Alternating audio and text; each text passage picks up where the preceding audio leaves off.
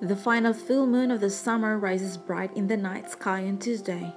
Known as the corn moon, it only happens once every three years.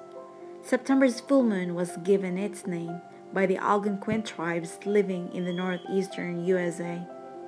They named it for the first of year when they harvested staple crops like corn, pumpkins, squash, beans, and wild rice.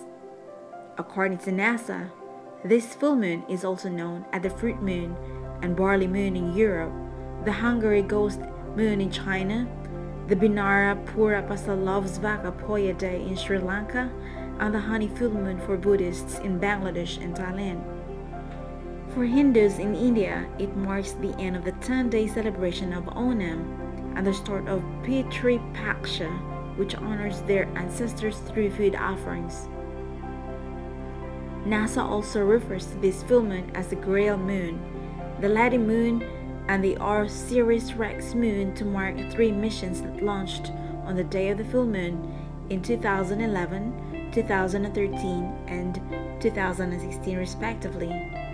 Typically, September's full moon is called the harvest moon because it is the closest to the fall equinox on September 22 but every third year, a full moon comes in October that is closer to the equinox, allowing September's full moon to use its traditional name, the corn moon. This year, the harvest moon won't arrive until October 1. That means October gets two full moons. The other is a blue moon, occurring on Halloween, October 31. The full moon will rise just after sunset on Tuesday, September 1, reaching peak illumination at 1.22 a.m. estimated early Wednesday morning.